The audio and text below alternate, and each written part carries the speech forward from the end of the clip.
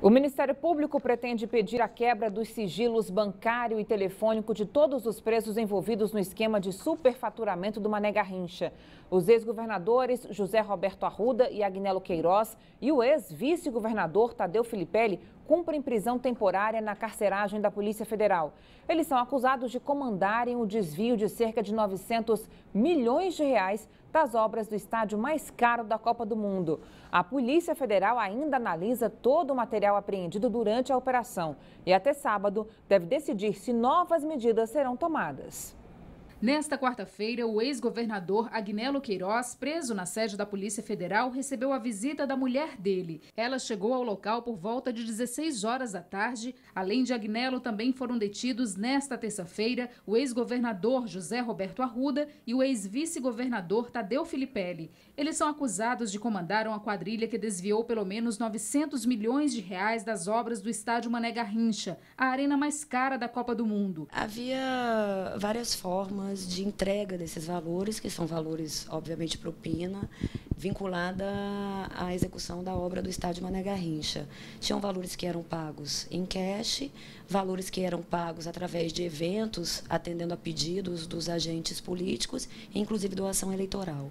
O inquérito policial relaciona exatamente esses valores. As suspeitas levaram a justiça a bloquear os bens dos três políticos investigados. Foi autorizado ainda o bloqueio de 100 milhões de reais de José Roberto Arruda, 10 milhões de reais de Agnello Queiroz e 6 milhões de reais de Tadeu Filipelli. Filipelli também sofreu outra consequência. Foi exonerado do cargo de assessor especial do presidente Michel Temer.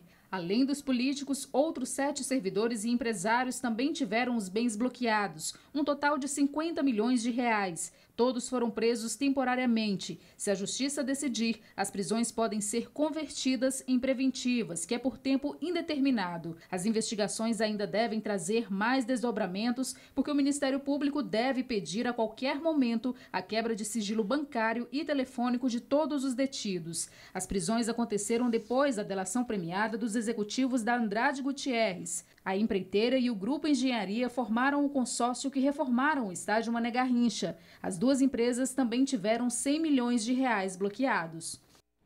Os advogados dos dois ex-dirigentes disseram que não vão se pronunciar. Cláudio Humberto. Olha, a gente recebeu a informação de que ao menos um dos investigados nessa primeira fase da operação que apura o superfaturamento da obra do estádio Mané Garrincha sinalizou a intenção de propor um acordo de delação premiada. As acusações são muito graves e envolvem três ex-governadores.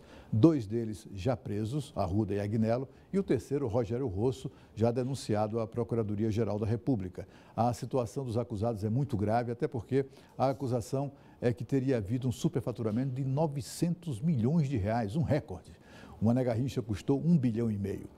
Estudos comparativos mostram que o estádio de Brasília foi o mais caro, de fato, entre todos aqueles construídos aqui para a Copa do Mundo.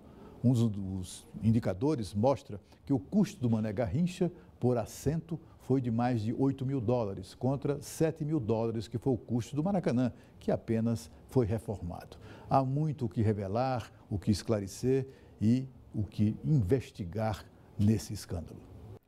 Aqui na Band você tem um canal direto para fazer denúncias e mostrar os problemas aí de onde você mora. É o WhatsApp do Band Cidade. Anote aí o nosso número 999769204, 999769204. E se preferir, tem um e-mail bandcidadebsb@band.com.br. Obrigada pela sua companhia e audiência. Fique agora com as principais notícias do Brasil e do mundo no Jornal da Band. Excelente noite para você. Até amanhã. Juízo, hein? Tchau, tchau.